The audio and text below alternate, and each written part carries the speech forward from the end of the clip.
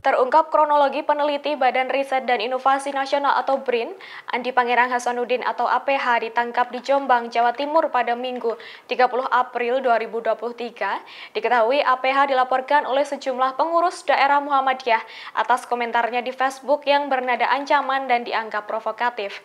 Hingga kemudian usai ditangkap, APH langsung dibawa ke Surabaya, Jawa Timur untuk diterbangkan ke Jakarta. Kabar itu dibenarkan oleh Direktur Tindak Pidana Cyber Baris Krim Polri, Brigjen Adi Vivit Agustiar. Andi Pangerang diterbangkan dari Bandara Internasional Juanda, Surabaya, sekira pukul 19 lebih 10 waktu Indonesia Barat. Saat itu dirinya menaiki pesawat Batik Air ID 6587. Kemudian peneliti BRIN itu tiba di Bandara Soekarno-Hatta, Tangerang pada minggu malam sekira pukul 21 lebih 12 waktu Indonesia Barat. Terlihat sejumlah aparat kepolisian melakukan pengawalan terhadap dirinya setibanya di situ. Bahkan dikatakan tangan APH juga diborgol selama penerbangan dari Surabaya ke Jakarta. Wajahnya tampak tertunduk lesu dan tidak mengeluarkan sepatah kata pun.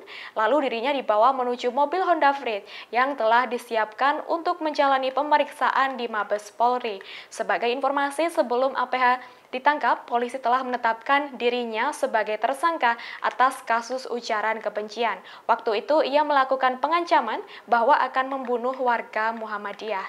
Karopenmas Divisi Humas Polri Brigjen Ahmad Ramadan menjelaskan APH dapat dicerat pasal berlapis. Pasalnya tulisan APH di media sosial itu terdapat unsur sara dan pengancaman.